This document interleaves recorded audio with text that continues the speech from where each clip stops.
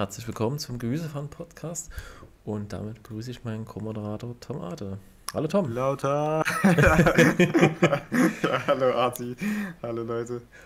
Und ja, wir bleiben in der Goldgrube, aber gehen heute mal ins, ja, ins dunkle Tal gen Osten. ja, willkommen in der Heimat. Ja. Ihr hört ja, wir kommen aus Sachsen. Und ja, da ist uns diese Doku ins Auge gefallen von Respekt Kompakt, unserem Lieblingsformat bei ARD Alpha. So, da lief diese Doku am 2.10.23. Steht jetzt hier. Der, warte mal, 2.10.2023? Das kann ja gar nicht sein. Wie kommt denn ja, auf das Datum? Dann wird die nochmal laufen, denke ich. Vielleicht, ja, okay. Jedenfalls äh, heißt das, der Osten, mehr als ein Klischee. Ähm, und im Text heißt es dazu, sind die Menschen im Osten Deutschlands wirklich demokratiefeindlicher und ausländerfeindlicher als die im Westen? Respekt begibt sich auf eine Spurensuche durch den Osten Deutschlands. Schön. Tja, dann sage ich willkommen im Wohnzimmer. dann, dann zeig uns mal, was wir von dir tollen Reporter-Ends lernen können, wie Demokratie ja, ich geht. Bin richtig gespannt. Also, das ist ja so ein bisschen unser Heimspiel jetzt. Wir wissen ja genau, worüber die reden. Eigentlich hätten wir fast die lange Version machen können bei der Sache. Hm. Naja, egal. Ja, ah, okay. Die, das Kompakt ist schon okay, finde ich. Ja. So, gib's uns. genau. Äh, ach so, weil ich es gerade sehe, ähm, kommt es dann richtig im OBS an? Du bist halt nicht im Vollbild. Aber es passt dann, oder? Klar. Okay, gut. das ist der Nachteil. Jetzt kann ich über die Schulter gucken und reinreden. Okay, wir legen mal los, Leute. Bei Respekt geht es heute um den Osten Deutschlands. Ich will mir mal genauer anschauen, was hat es denn eigentlich mit den ganzen Klischees auf sich und kann man heute nach 30 Jahren Mauerfall überhaupt noch vom Osten sprechen? Also ganz kurz, natürlich kann man noch vom Osten sprechen und ich hoffe, es gibt auch noch Unterschiede von uns Ossis zu den Wessis. Ja, man kann auch vom Süden sprechen und vom Norden. Ja, also, wow, wow. Darf Mensch. er das? okay, Wobei, streng, streng genommen ist es ja Mitteldeutschland, aber Ne? Ja. Das Fass wollen wir jetzt nicht aufmachen. Auch wenn ja. der Sender hier MDR heißt. Ne? Aber, hm. ja. So. Mit der Art und Weise, wie Demokratie in Deutschland funktioniert, sind alles in allem 52 Prozent der ostdeutschen Bürgerinnen und Bürger wenig oder überhaupt nicht zufrieden. So das Ergebnis einer repräsentativen Umfrage vom September 2019. Unterschiede gibt es je nach Alter. Zufrieden sind eher die Jüngeren, nämlich 66 Prozent. Bei den über 60-Jährigen sind dagegen nur 41 Prozent zufrieden. Ja, woran könnte das bloß liegen? Dass diese Leute das alte System kennen und merken, oh, also irgendwie gibt es ja Parallelen. Kann das sein? Ja, auf jeden Fall, würde ich auch sagen. Also die, die Jungen, die sind halt schon äh, mit diesem Einlull-System aufgewachsen. Also sie werden mhm. schon seit Kindesbeinen an äh, vom BRD-Deutschland-System eingelullt, von den Medien, von der Schule und so weiter und kennen das einfach nur so. Aber wie du richtig sagst, die älteren Leute, die haben die DDR miterlebt und äh, erkennen ganz viele Mechanismen wieder, die heute bei uns auch so laufen. Angefangen eben hier bei den Medien, also bei dieser, bei diesem ganzen Framing, das hier läuft. Damals hieß das natürlich noch nicht Framing in der DDR, aber das fand da auch so statt. Hm.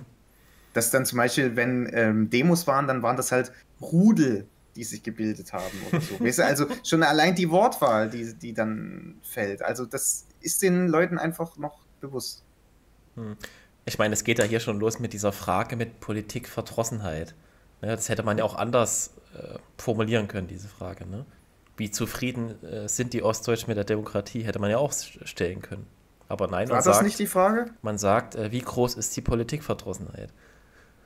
Mm, also finde nee, ich, da nee, geht's ich, schon los. Warte mal, nee, ich glaube, die Frage war, wie zufrieden sind sie mit der Politik und die interpretieren das als Politikverdrossenheit. Also ich. Nee, äh, die, die, die Überschrift von dem Abschnitt jetzt hier hieß so. Ja. Die heißt Politikverdrossenheit, ja. ja. Nee, Achso, du meinst, die sind nicht unbedingt politikverdrossen, die wollen halt nur eine, andere Politik. Nee, ich meine, man, also warte, ich kann ja mal zurückspringen, wenn das hier geht. Ah, so, heute nach genau. 30 Jahren Mauerfall überhaupt ah. noch vom Osten sprechen. So hier, das meinte ich. Das hätte man ja auch anders formulieren können, ne? Äh, warum? Ja, weil das ein negatives Wort ist. Und das ist dann gleich mit dem Osten verbunden. also ich finde, da fängt das schon an. Ja, ja. Ja, okay, okay. Ich bin da nicht ganz so Cape-Shit in dem Moment. Sehr sächsisches Wort gerade. Aber, aber, ist okay, ist okay. Gut, wir machen weiter. Wir waren etwa Hier. so hier. Auf die Frage, ist das Angebot von Waren und Dienstleistungen im Vergleich zur DDR heute besser, sagen 88 Prozent der Befragten ja. Dafür finden 68 Prozent, die soziale Gerechtigkeit habe sich verschlechtert. Ebenfalls schlechter als in der DDR finden 70 Prozent den Schutz vor Kriminalität und Verbrechen. Und 73 Prozent beklagen eine schlechtere Sicherheit des Arbeitsplatzes. Das können wir ja im Einzelnen jetzt mal durchnehmen. Also klar, Sicherheit des Arbeitsplatzes, logisch. Natürlich ist die im freien kapitalistischen Westen schlechter. Also ich meine, du hattest in der DDR ein festgeschriebenes Recht auf Arbeit Hm. und das war aber ja auch gleichzeitig die Krux an der DDR, weswegen äh, vieles nicht sehr produktiv war, weil die Leute hatten gar keine Motivation, sich Mühe zu geben, weil du hast ja deinen Job so oder so behalten. Ja, also der, der Witz, dass vier Leute die Leiter halten und einer wechselt die Glühbirne, der kommt nicht von ungefähr. Ja, genau. So, dann das Thema Schutz vor Kriminalität und Verbrechen ist heute schlechter als früher. Ähm, ja, logisch, oder? Ja, Also- definitiv. Also, vielleicht, wenn man jetzt den- mal den Staat weglässt, so die nur ganz normalen Verbrechen, ja, war damals definitiv äh, weniger. Ja, das, das liegt an mehreren Dingen. Erstmal, erstens natürlich Migration. Das ist unser Lieblingsthema, ihr wisst das. Horst Seehofer hat das mal als äh, die Mutter aller Probleme bezeichnet. Und deswegen auch hier wieder Migration. Klar, also es gab in der DDR nicht so viel Migration und wenn Migranten kamen, dann waren die natürlich äußerst ausgesucht. Dann kamen die nur aus ideologisch befreundeten Staaten, dann waren das irgendwie die, die, die Vorzeige-Kubaner und die Vorzeige-Vietnamesen, die Genau, ankamen genau. Ja. und hier was gemacht haben. Mit denen haben wir noch nie Probleme gehabt im Osten. So, jetzt äh, sieht das ganz anders aus, wie ihr wisst. Also brauchen wir gar nicht weiter vertiefen. Und äh, ein anderes Thema, was ich ziemlich spannend finde, ich habe da nämlich lustigerweise letztens erst mit meiner Mutter drüber geredet. Hm. Äh, meine Mutter hat zu mir gemeint, äh, die Leute hatten auch einfach viel mehr äh, Respekt vor der Staatsgewalt. Man muss auch ehrlich sagen, Angst. Also, weil es war ja den jedem bewusst, wie krass äh, die DDR durchgreifen konnte. Also, wenn du, es hat ja gereicht, du bist schon alleine wählen gegangen, zum Beispiel, dass dann jemand von der Stasi bei dir vor der Tür steht. Naja, was ist denn da los gewesen? Sie haben ja gewählt und so. so. Tausend solche Sachen. Oder du sagst in der Schule mal, was falsch ist. Ähm, ja, und am Ende landest du am besten noch in Torgau. Also, Ja. ich weiß nicht, ob dir das was sagt. Das war so Ja. ein Jugendstraflager. So ein, man muss es sagen, so eine Art KZ in der DDR. Das ist leider oft vergessen, finde ich. Es ist ganz schrecklich gewesen, was da passiert ist. Wurden halt dissidente Jugendliche eingesperrt, Hm. die dem sozialistischen System widersprochen haben. Die da- Raudis, ja. Genau, die wurden da einer Gehirnwäsche unterzogen. Also so wie im Roman 1984, ähm, so muss man sich das auch dort tatsächlich vorstellen. Genau, oder Ja. wenn du in der Armee irgendwas Dummes gesagt hast, dann bist du halt nach Bautzen gekommen und es hat dann nie einer über Bautzen geredet, der zurückgekommen ist. Ja, ja. A, weil er Schiss hatte, dass jemand gerade von der Stasi ihn das fragt und dann geht es nochmal dahin. Und B, weil das halt wirklich ein Misshandlungsknast war. Ja, ja. Also da Also warst du halt, da warst du eine Schabe für die Leute dort. Genau. Da sind ganz schreckliche Dinge passiert. Ähm, ja, gut, deswegen war einfach die Kriminalität weniger. So, Mich, mich wundert es, dass ja nur 70 Prozent tatsächlich. Ich hätte es höher gedacht. Hm, ja, wie es halt so ist, man kann da viel interpretieren und so. Das Ding ist ja nämlich auch, ähm, die Frage ist ja vielleicht auch gewesen, ob du immer bei allen Dingen dich wirklich geschützt gefühlt hast. Vielleicht gab es ja noch so äh, etwas schlechter oder so als äh, Möglichkeit, Ja. das, was man jetzt hier nicht sieht. Ne? So, und dann haben wir das Thema hier soziale Gerechtigkeit. Achso, Angebot von Waren, erstmal das, Angebote von Waren und Dienstleistungen sagen 88% besser heute. Ja, ist logisch. Da so, ist, soziale da ist Gerechtigkeit. erstmal, da war schon wieder die Hundepfeife in der Prozentzahl versteckt. Das hier finde ich jetzt tatsächlich interessant, weil da würde ich tatsächlich widersprechen hier, äh, bei, den, bei dem Punkt hier, dass die ähm, soziale Gerechtigkeit heute in der BRD schlechter wäre als in der DDR. Also, wie siehst du das, bevor ich jetzt hier loslege? Hm. Ist jetzt die Frage, was man darunter versteht. Also wenn man darunter versteht, dass man sich so gegenseitig hilft, so im Kollektiv sozusagen, Mhm. äh, dann denke ich, war es früher wirklich besser. Wenn du Ja. jetzt einfach nur so den monetären Aspekt jetzt mit dem tollen Bürgergeld äh, nimmst, würde ich sagen, es ist heute entspannter durchzukommen. Solange wie hier nicht alles kollabiert, kannst du von dem Bürgergeld recht entspannt leben. Wir sind ja beide relativ anspruchslos. Ach so, interessant. Ne? Ich habe das sogar noch ganz anders interpretiert. Also ah, ich denke halt bei dem Thema soziale Gerechtigkeit an, äh, an die Karrieremöglichkeiten, die dir offen stehen, ähm, rein deinen Fähigkeiten wegen.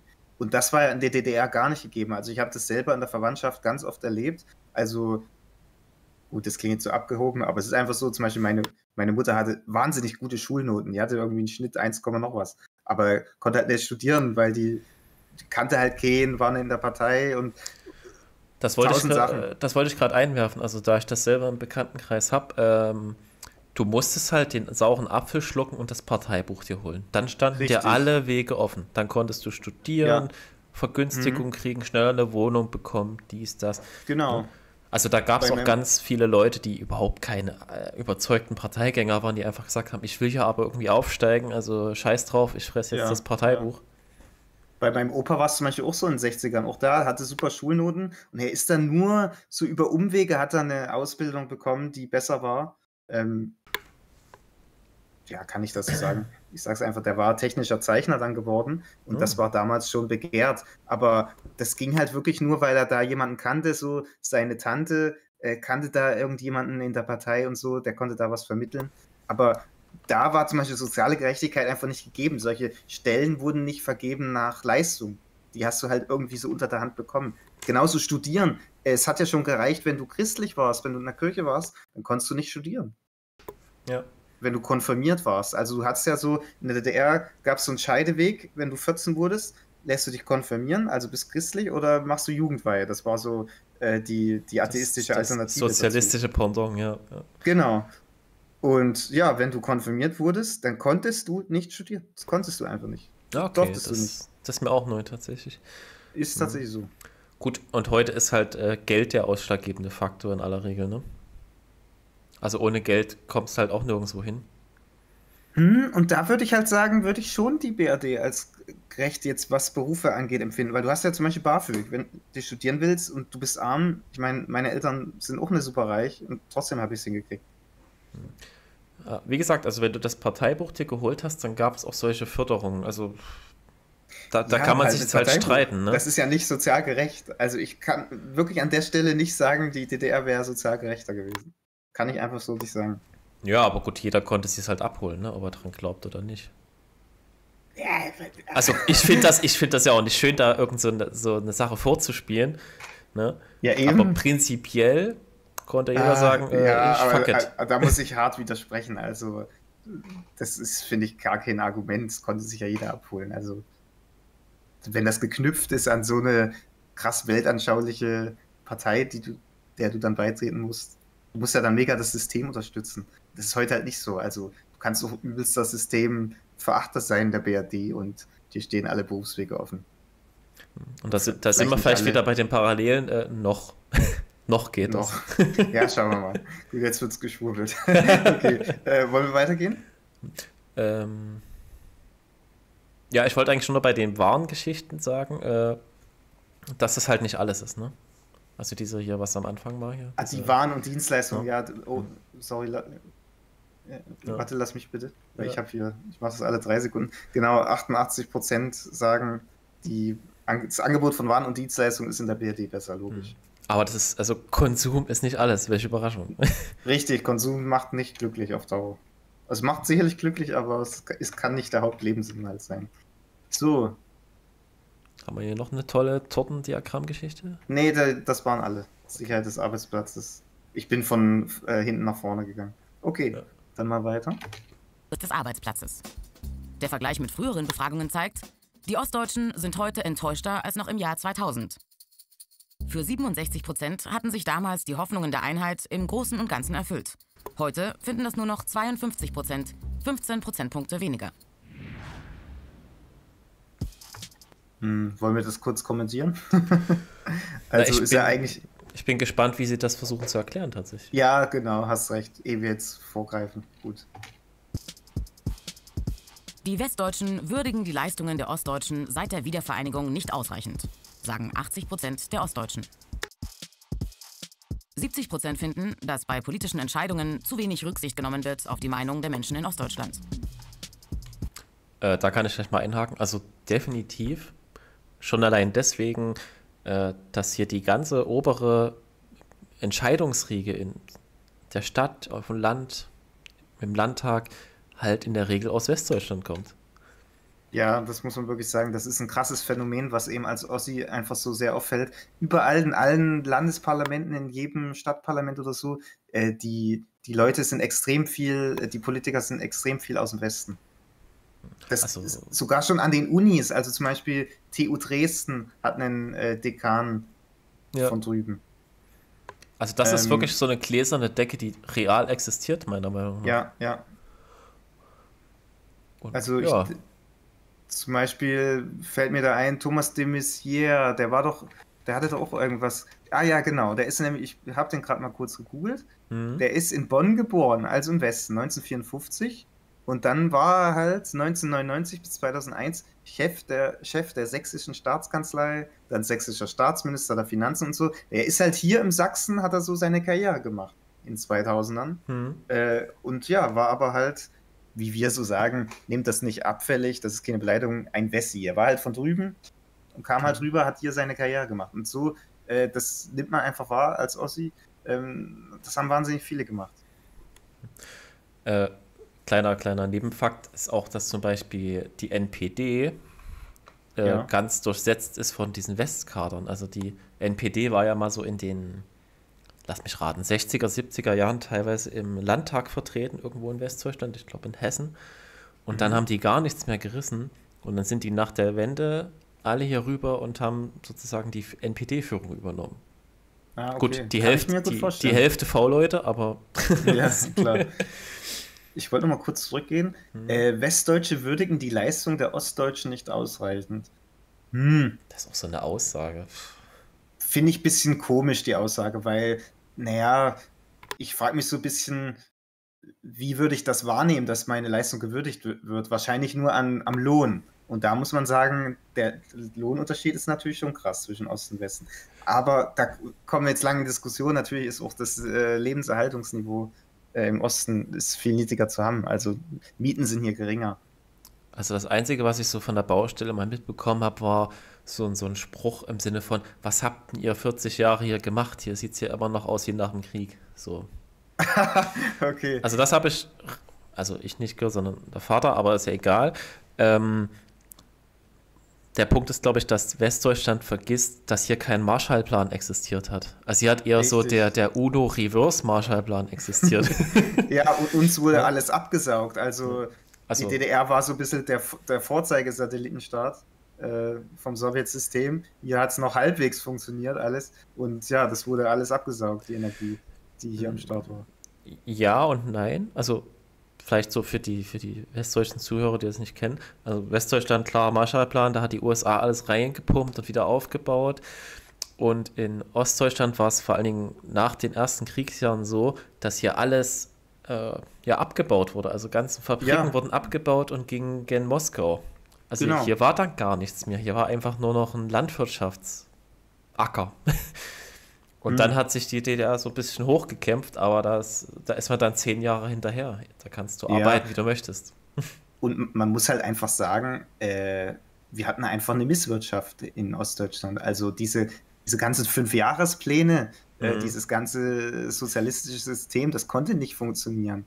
Und ist klar, dass es dann deswegen hier anders aussieht als im Westen, weil wir halt äh, 40 Jahre lang so einen Unsinn mitmachen mussten.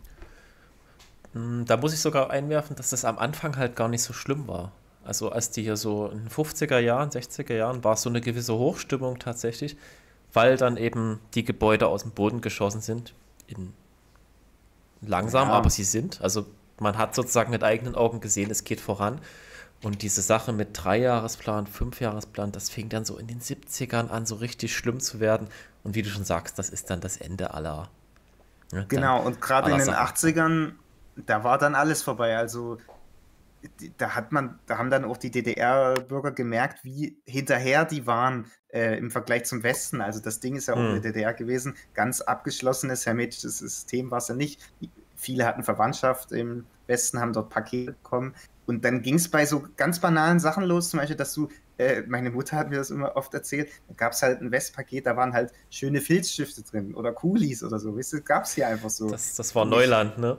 Die schönen bunten Kulis oder so. Ja, tausend Sachen. Oder da gab es ja mal einen schönen Pullover, äh, einen Strickpullover, der den es hier nicht gab. Und 10, 10 Millionen solche Sachen. Und vom Auto brauchen wir gar nicht reden. Also wir hatten die ganze Zeit diesen Trabant, auf den hast du 15 Jahre gewartet. Und im Westen kamen äh, sonst, sind sonst was für Autos umgefahren. Und daran ist das System letztlich auch gescheitert. Also an dieser Unzufriedenheit dann in den 80ern.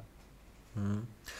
Das lässt einen natürlich auch so ein bisschen denken, wenn jetzt, äh, keine Ahnung, Deutschland zum Beispiel aus der EU austritt und die EU macht die Grenzen zu, dann äh, fällt Deutschland ja schlussendlich wieder auf so ein Niveau runter. Ne? Und wie man dann damit umgeht, auf diesen Verzicht, der dann einhergeht damit. Warte mal, stopp, wir würden runterfallen, wenn wir aus der EU austreten? Ja, wenn die Leute sozusagen die Handelsgrenzen zumachen, dann, also die Rest-EU, wenn man so möchte. Ach so, wenn die. So wie bei okay. Großbritannien, so, um so ein bisschen zu bestrafen. Ah, ich verstehe, weil wir könnten dann nichts mehr exportieren, meinst du, ja, ja. Mhm. Und auch, auch nichts Aber importieren, ja, das also. Ja. Das müsste man halt hart durchdenken, wie man da über die Runden kommt. So, äh, wollen wir zur nächsten These gehen hier? Ja. Genau, so. Außerdem dem wünschen sich über 80 Prozent eine Ostquote bei der Besetzung von politischen und wirtschaftlichen Führungspositionen. Ja, wo die herkommt, ne? Ja, wir hatten es ja von uns angesprochen, wir haben halt sehr viele äh, westdeutsche Politiker hier. Ist verständlich aus, aus deutscher Sicht. Diese schlechte Stimmung spiegeln auch Wahlergebnisse wider. Bei Landtagswahlen in drei ostdeutschen Bundesländern 2019 verzeichnet die rechtspopulistische AfD in Brandenburg fast. Die rechtspopulistische AfD, ich, ich hasse das, wenn die, also dass das immer noch gemacht werden muss, nach Jahren, äh, wie es diese Partei schon gibt, die AfD, da musst du immer noch dieses Adjektiv rechtspopulistisch davor setzen. So als würde ja. ich sagen, die, die sozialistische Linke oder äh, die konservative CDU oder. Ach, aber das finde ich ist noch aus dem Werkzeugkasten, den die haben, die schmeichelhafteste. Also Populismus finde ich nicht schlimm, dass die rechts ist, ist okay. Ist jetzt auch nichts Wildes. Die hätten auch irgendwie extrem rechte AfD oder rechtsextrem oder was weiß ich. Ne? Also da finde ich das schon fast noch schmeichelhaft. Aus, aus, ja, aus deiner Sicht ist das nicht schlimm. Aber für den Normie ist das schlimm. Wenn er das hört, rechtspopulistisch, äh, das ist böse. Weil Populismus ist schlecht und rechts ist schlecht für den Norden. Ist Populismus immer noch schlecht besetzt? Ja, ja unbedingt, unbedingt, ah. natürlich. Da ist ja dieses ganze Thema dran. Naja, die haben immer auf äh, schwierige Lösungen, haben die so einfache Antworten. Die hören die aufs Volk, also auf mich, ja. widerlich. Na gut. Fast 24 Prozent, in Sachsen fast 28 Prozent und in Thüringen etwa 23 Prozent. Jawohl. Newsflash 35. Es ist Sonntag kurz vor 11 und ich bin auf dem Weg aufs Land nach Leisnig, einer Kleinstadt mit 8000 Einwohnern zwischen Leipzig und Dresden.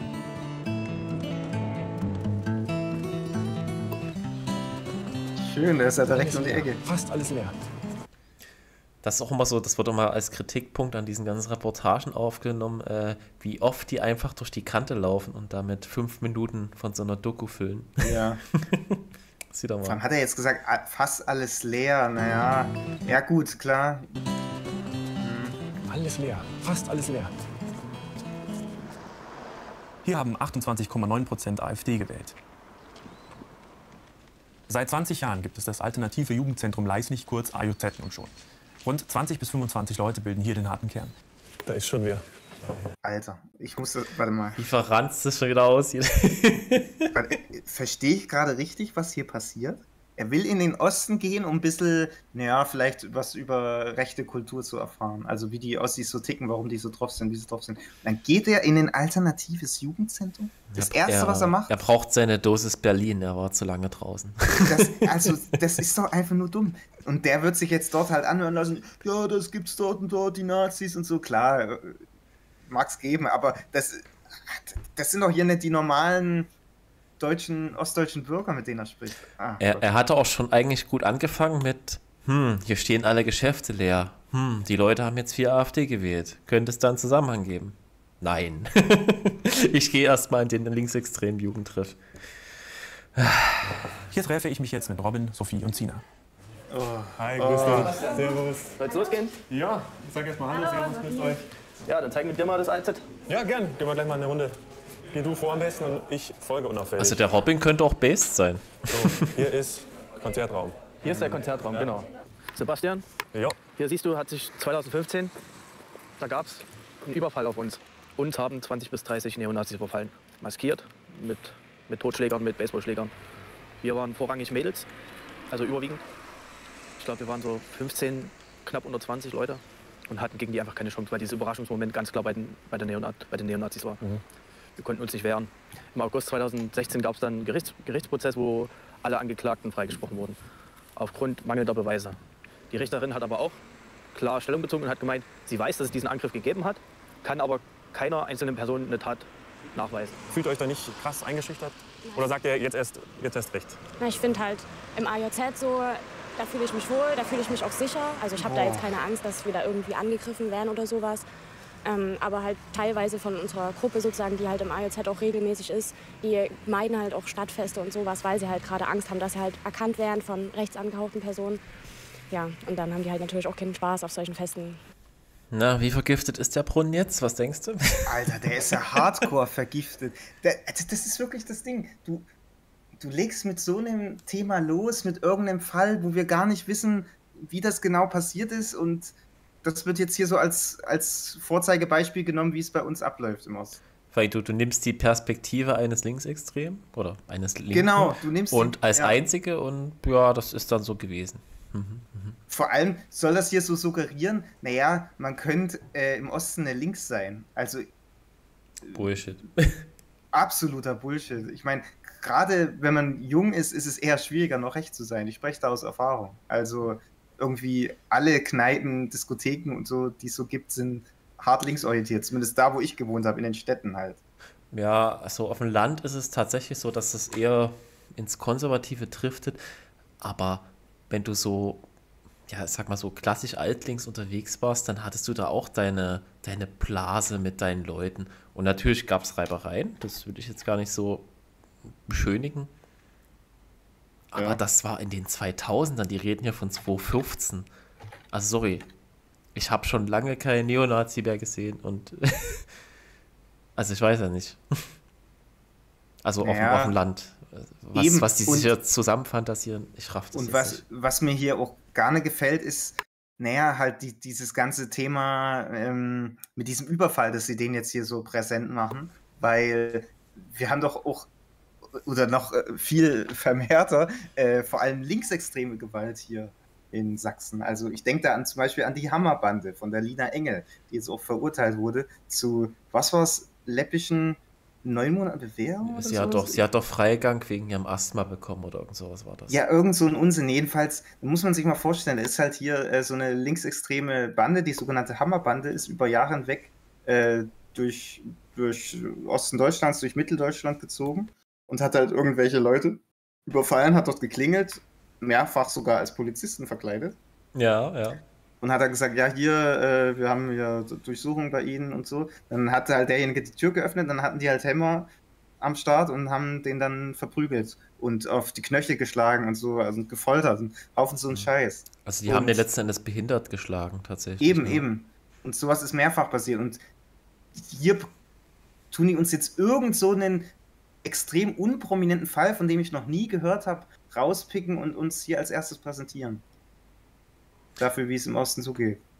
Ja, auch diese, diese Übertreibung, also ich sage jetzt einfach Übertreibung mit irgendwelchen Totschlägern und so. Äh, der sieht mir noch sehr gesund aus, der Junge, für das, was er geschildert hat hier, ehrlich gesagt. Ja, also ganz eigenartig. Aber gut, das ist halt so ein bisschen übertreiben, ja, meine Güte. Brunnen ist Ja. vergiftet. Extrem vergiftet. Vielleicht reden sie ja noch mit dem AfDler. Mal gucken. ja, mal sehen. Äh, Jetzt gibt es natürlich viele, wenn die die ganzen Geschichten hier hören, die machen die Klischeeschublade auf, holen das Klischee raus und sagen, hier im Osten gibt es ja lauter Nazis. Habe ich doch immer schon gesagt. Äh, Wie geht's euch damit? Klar, man fühlt sich erstmal doof, so halt in eine Schublade gesteckt zu werden oder wo jetzt die Wahlen waren und schon wieder übelst viel AfD. Ich muss hier raus aus Sachsen, sagen die dann. Und ich denke mir, ja, klar, Sachsen ist aber trotzdem halt schön. Und Unsere Heimat. ja, ist unsere Heimat sozusagen. Ja, genau. Und das will man halt auch irgendwie schon ein bisschen verteidigen. Klischee. In Sachsen sind nur Nazis. Sehe ich als Beleidigung an. Gegen allen Sozialarbeitern, gegen allen ehrenamtlichen aktiven Menschen, die arbeiten hier bewusst in ländlichen Provinzen, ziehen mit Absicht nicht in die Großstädte, um den Neonazis in den ländlichen Strukturen überhaupt nicht das Feld zu überlassen. Also ich habe mich ja. Ich muss hier nochmal kurz einhaken. Also klar, das ist so das, was Linke immer machen, aber das ging halt hier so wie nebenbei, weißt du, fällt der Begriff Nazis und dann so ein, zwei Sätze fällt der Begriff äh, AfD, ein, zwei Sätze später. Hm. Ja, also ja. die sind für mich noch sehr in den 90ern stecken geblieben mit ihrer Freund-Feind-Erkennung. Ja. Kann man das nicht anders zusammenreimen. Ja. Na gut. Ich habe mich am Anfang gefragt, warum gerade hier in Ostdeutschland so viele Leute AfD wählen. Klar, oh. gibt viele Gründe. Einer ist vielleicht, dass sich die Menschen hier abgehängt fühlen, aber die Menschen im Westen fühlen sich ja auch teilweise abgehängt. Und genauso ist es, dass es. Hä? Also ich habe also, noch, hab noch nie eine Umfrage gesehen, wo im Westen jemand äh, signifikant gesagt hat, ich fühle mich abgehängt. Ah, das weiß ich nicht. Aber egal. Also, was ich lustig finde, dass hier als erstes auch wieder kommt, ähm, die Leute wählen AfD nicht wegen, weil die einfach die Themen gut finden, die die aufs Parkett bringen. Zum Beispiel eben äh, Ablehnung von Überfremdung. Mhm. Sondern, ja, weil die sich abgehängt fühlen, die sind benachteiligt. Ihr, es sind dann immer solche, äh, solche naja, ich finde, das ist, sind so herabwürdigende Narrative über die Ossis. Also ich bin da auch ganz allergisch drauf. Also kommt jetzt hier so ein Westtyp äh, mit seinem ARD-Team, kommt bei uns an und erzählt uns dann halt, wie abgehängt wir sind und dass wir deswegen alles Nazis sind und so. Ich krieg schon so einen Hals, wirklich. Also ihr merkt schon, ich, ich, ich, ich, entspreche so ein bisschen diesem Klischee-Ossi, so, äh, der das extrem ablehnt, äh, dieses ganze Westrundfunksystem. also ich, ich fühle mich hier auch gerade extrem auf den Schlip, Schlips getreten. Ja, mal gucken. Vielleicht kommen jetzt noch bessere auch. Gründe. Ja. viele Orte gibt, wo schockierend viele Menschen AfD wählen. Gleichzeitig Schockierend. ist natürlich die Mehrheit hier im Osten auch nicht AfD-Wähler. Also das Ganze ja, 35 Prozent mittlerweile. Also wir sind auf einem guten Weg. Also Respekt. Also das Ganze verstehe ich noch nicht so ganz wie er das sich überhaupt nicht ausmalen ich bin kann. unterwegs nach gut. Ja. zu jemandem, der zur sogenannten dritten Generation Ostdeutschland gehört. Meine Fotokamera habe ich mit dabei. Sven Gatter ist Fotograf und eines seiner Projekte ist die Begegnung mit Zeitzeugen, die selbst die DDR noch miterlebt haben. Sven ist 1978 in Halle an der Saale geboren und in Bitterfeld aufgewachsen. Jetzt lebt er zwar in Berlin, kommt aber immer wieder hierher zurück. Die Kleinstadt nordöstlich von Halle war zum Ende der DDR ein Symbol für den wirtschaftlichen Niedergang und für krasseste Umweltverschmutzung. Beim Mauerfall warst du wie alt? Elf. Elf Jahre. Mhm. Dann warst du ein klassisches Wendekind. Ja, also als Wendekinder oder die dritte Generation Ostdeutschland werden ja die bezeichnet, die ähm, den Mauerfall und die danach stattfindende Umbruchszeit als die prägende Sozialisationserfahrung mitbekommen haben. Also die Kinder, die noch in der DDR geboren sind, dort eine, eine, Schulsozialisation begonnen haben und anschließend die Schullaufbahn aber im wiedervereinigten Deutschland fortgesetzt haben. Das war sicher auch das prägende, die prägende Kindheitserfahrung, ähm, inklusive dieses gesamten Umbruchs, der dann stattgefunden hat. Ja, von den sogenannten Wendekindern, glaube ich, unterschiedlich erlebt wurde. Einerseits als ein großer Freiraum plötzlich, so ein anarchischer Raum, und zum Teil aber eben auch als eine Zeit, die sehr verunsichernd war, wenig Orientierung geboten hat. Svens Interviewpartner ist heute Ingo Otto, Kapitän auf dem historischen Ausflugsschiff MS Reutnitz. Früher war das hier eine Braunkohlegrube. Heute ist daraus der Deutsche See mit Hafenfest und Bootrennen geworden. Also ich muss das sagen, also bis jetzt macht der Typ hier, der Fotograf, einen vernünftigen Eindruck. Ein bisschen differenziert. Ja, auf jeden Bild. Fall. Sehr angenehm im Gegensatz zu diesem ja, ARD-Hansel hier. Ja, also das finde ich vernünftig, dass er sich auch den hier ausguckt. Also vielleicht erfährt er da jetzt über den was, ähm, weil der macht ja so ein Projekt, dass er äh, viel mit Ostdeutschen redet. Das ist irgendwie auf jeden Fall sinnvoller redet, als. Ja. ja. das ist auf jeden Fall sinnvoller, als ins IOZ zu gehen. Also wirklich in so ein alternatives Jugendzentrum und irgendwelche Linksextremen zu fragen. Ja. Hallo, die halt Antifa-Sticker an der Wand. Das ist jetzt hier die MS Reutnitz. Jo. Der einzigste in Deutschland überhaupt existierende Originalfrachtensegler. Der kriegt das mal ein Plus für einzigstes. das ist irgendwie so, das ist auch so ein Ostding, oder? Äh, ja, weiß ich nicht. Ich weiß es nicht. Aber tatsächlich habe ich das auch schon oft gesagt, einzig. Und es wurde mir mal angekreidet im Deutschabsatz. ja. Frachtensegler als Fahrgastschiff in einem geschlossenen Binnensee. Aha. 129 Jahre alt jetzt. So.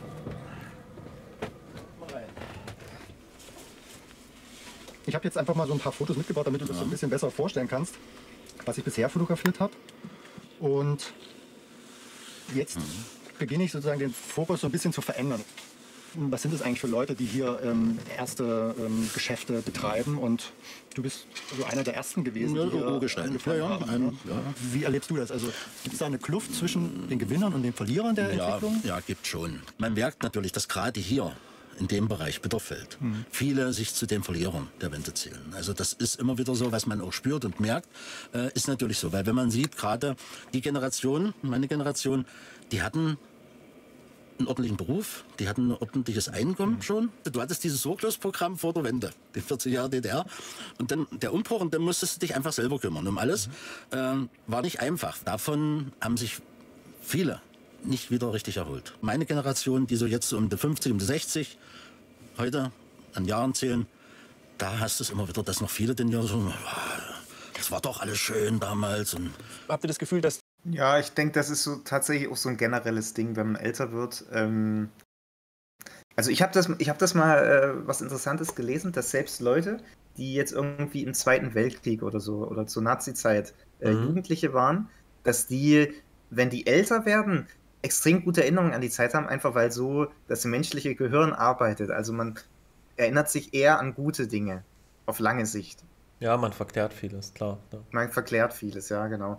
Und klar, man muss es schon sagen, ähm, vielleicht auch, oder natürlich auch mit äh, ein bisschen Kritik. Also wir haben eine extrem starke sogenannte Ostalgie hier ähm, unter den Eltern. Das, ich bin da auch immer sehr kritisch, was das angeht, weil wir hatten das vorhin schon angeschnitten, in der DDR ist extrem viel Unrecht geschehen und das darf auf keinen Fall unter den Tisch gekehrt werden. Also ich ja, sage nie ja. wieder Sozialismus. Also mein, mein Uropa hat, um jetzt mal noch eine Generation weiterzuspringen, hat immer gesagt, äh, ja, beim, beim Hitler, da war an jeder Straßenecke ein Schutzmann. Mhm. Ja? Also da gab es sowas wie richtige Versprechen gar nicht so wirklich, weil halt überall ein Polizist war. Ja, das, das fand DDR er gut. war es ähnlich. Ja. ja. Gab es die sogenannten Volkspolizisten und wie meine Mutter gemeint hat, äh, da hast du dann einfach Angst, also da hast du nichts gemacht. Ähm, hast du dich nicht getraut. Ja. ja. Dass zu viele Menschen ihre Vergangenheit verklären? Ja, also in meiner Wahrnehmung ist das auch die kleinere Gruppe. Aber es, es ist eine, Gruppe, ja, aber die Flaute, ja, das ist es ja. Achso, ich will vielleicht noch eingrätschen hier. Ich bin gespannt, ob noch der Begriff Treuhand hier fällt. Denn, Treuhand? Ja. Naja. Denn das, ja das, ist, das ist für mich einer der großen Gründe, warum es halt so viele Wendeverlierer, was die hier schon beschreiben, gegeben hat. Dass so viele. Das ist jetzt selbst mir neu. Kannst du das kurz ausführen? Ach so. Also, ja, erklär also mal die, kurz. Ostdeutschland hat ja eine Industrie gehabt, trotz allen äh, Ostverlagerungen zur Wendezeit. Und es gab dann die so, sogenannte Treuhand, die diese Abwicklung dieser Industrie, also dieser ja, sozialistischen Produktionsstätten äh, übernommen hat. Und wenn man so möchte, wurden die halt A für nichts wettbewerbsfähig äh, gebrandmarkt und dann wurden die für ein Apfel und Ei verscherbelt. Oder halt gleich ah, okay. aufgelöst. Davon habe ich natürlich schon gehört, aber den Begriff Treuhand, das war mir jetzt neu. Und ja, dadurch haben halt viele ihren Job verloren. Also ja, unbedingt. Und zählen dadurch zwangsläufig zu den Wendeverlierern. Ja, man muss auch dazu sagen, natürlich war halt gegenüber dem Westen äh, das Ostsystem halt nicht wettbewerbsfähig, also in weiten Teilen. Weißt du? Ja, klar, klar.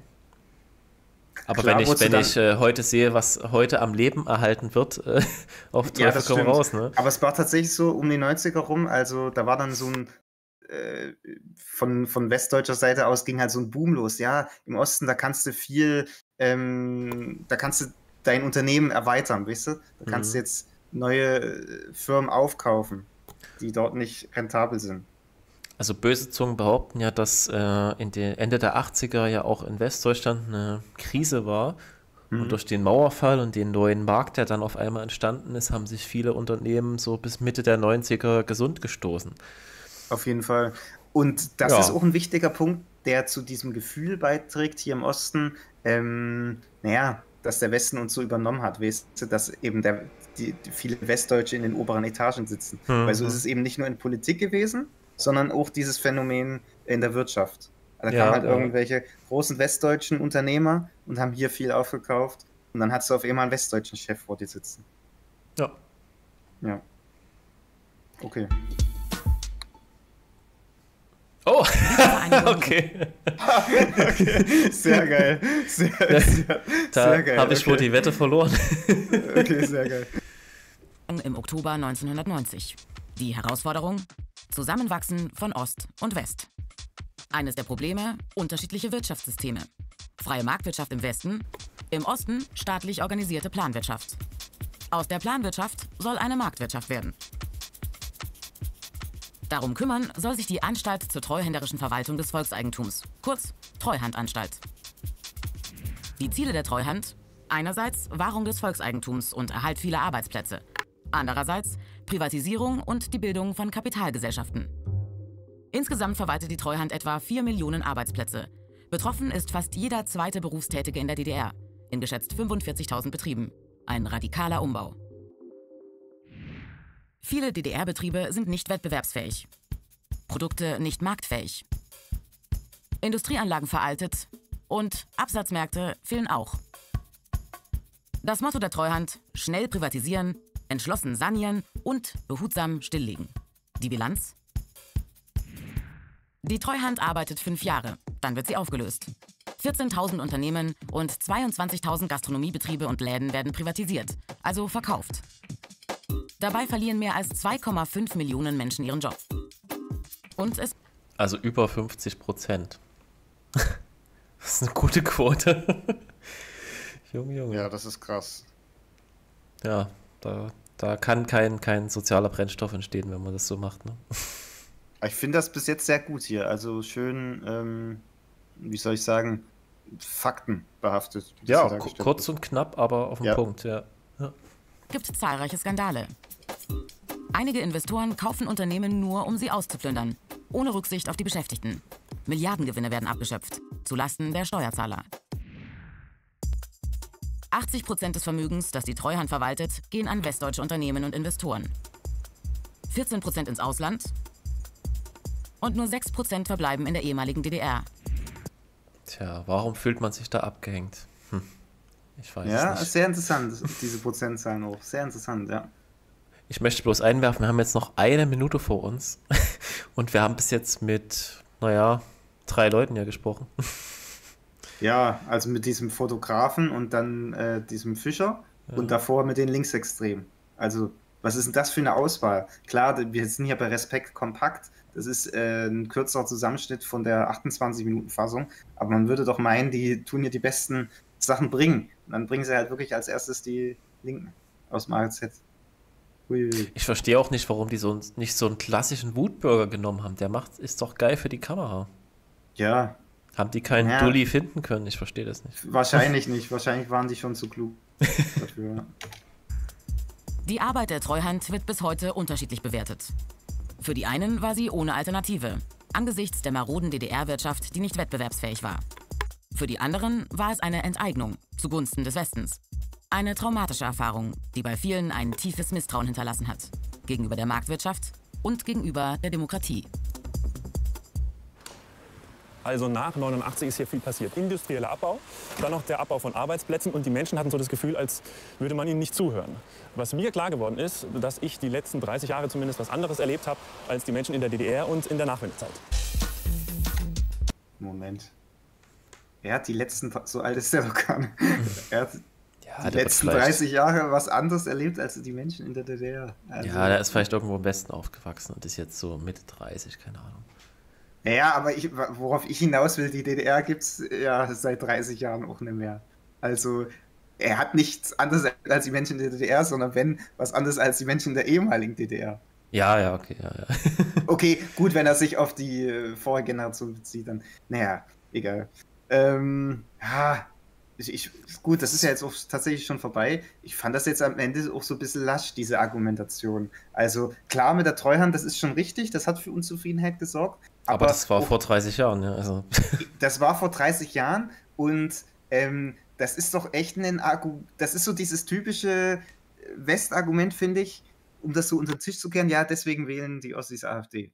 Also, nee, wir wählen AfD wegen den Themen. Wie gesagt, weil wir eher noch die Probleme sehen, sehen wollen als ihr im Westen. Also gerade was Migration angeht, zum Beispiel. Wenn man es mal rumdreht, äh, könnte man bösartig sagen, der Wessi kann sich nur vorstellen, wenn wirtschaftlich was schlecht läuft, dann wird extrem gewählt. Dass es aus irgendwelchen anderen Gründen sein kann, das kann gar nicht sein. Also, es, solange wie es der Wirtschaft gut geht, dann ist alles gut. Ja. Und irgendwas anderes findet gar nicht statt. Also so eine richtige also so, CDU-Denke irgendwie. Ja, so eine richtige FDP-CDU-Kack-Mentalität. So. Ja, aber Hauptsache, die Wirtschaft. Wir, genau, wir tun alles für die Wirtschaft. So, ja, wir brauchen doch neue Leute hier, äh, Zuwanderung für die Arbeitsplätze und so und tausend solche Sachen. Also immer nur Wirtschaft, Wirtschaft, Wirtschaft. Ohne an die Kultur zu denken und an die Leute an sich. Ja, das hast du sehr schön gesagt. Ich bin aber wirklich enttäuscht, dass es jetzt schon vorbei ist. Also jetzt wäre eigentlich äh, der Punkt, tiefer zu gehen, oder? Ja, ich würde auch fast sagen, vielleicht vielleicht wollen wir uns doch noch diesen längeren Beitrag zu Gebüte führen und dann die äh, Szenen, die wir schon gesehen haben, skippen. Vielleicht machen wir das mal noch in einer nachgelagerten Folge. Mhm. Wir können Weil ja mal so, so durchskippen, ob sich das lohnt oder ob der dann noch in drei AZ-Connies oder wie die alle heißen reinrennt. Mhm, mhm. Weil in dem Aufmacherbild zum Beispiel hat man ja hier ein Bild von einer Pegida-Demo gehabt. Also hätte mich schon interessiert, was sie dazu Stimmt, stimmt, du hast recht. Warum haben die das nicht reingenommen? Ja, das war halt dann vielleicht im 28-Minuten-Beitrag. Oder einfach, das, ja, das macht sich schick für einen Aufmacher hier. Schöne Dresden im Hintergrund. Ja, liebe Zuschauer, also wenn ihr demnächst nicht noch einen zweiten Teil seht, dann heißt das, dass äh, das so ein, ja, ein schönes Bild war und Pegida nie besucht wurde. Auch in der Langfassung ja. nicht. Naja, man muss ja dazu ehrlicherweise sagen, Pegida findet ja eigentlich gar nicht mehr statt was ist eigentlich? Also ich, ich habe schon seit Jahren keine Pegida-Demo mehr gesehen. Hm, aber so wie ich es rausgehört habe, war die Demo so von zwei, äh, die Demo, Entschuldigung, die Reportage hier von 2019, 2020, ne? Ah, okay. Ungefähr. Weiß ich jetzt gar nicht. Okay. Die hatten immer so Statistiken von 2019 und da denke ich da ah, ein, okay. ein, Jahr später vielleicht die. Vielleicht, ja, das kann sein. Und, und ich weiß gar nicht, war 2020 Pegida noch ein Ding? Ah. Nee, da schon gar nicht mehr. Das war gar nicht so lang eigentlich. Vielleicht bis 2018 mit Wohlwollen, aber. Mhm. Ja. Ist das eigentlich eingeschlafen? Du kennst dich ja ein bisschen besser aus da. Was ist da ja, passiert? Ja, ich, ich, kann das ja auch hier frei sagen. Ich war oft bei Begida. Ähm, das ist ja, das ist dann ziemlich eingeschlafen, muss man tatsächlich sagen. Also ja, es ist einfach eingeschlafen, einfach weil sich da nicht viel bewegt hat. Also es gab so eine große Boomphase um 2014, 15 rum, mal mhm. anderthalb, zwei Jahre, äh, wo teilweise ja wirklich über 10.000 Leute hier in Dresden am Start waren. Ähm, wo wirklich man dachte, oh Gott, jetzt, das ist ja wie damals 89, weißt du? Jetzt sind 10.000, nächste Woche sind 20.000, dann 30.000. Äh, da war so ein bisschen diese Stimmung. Aber äh, das ganze System, das ganze Mediensystem hat ja extrem dagegen geschossen.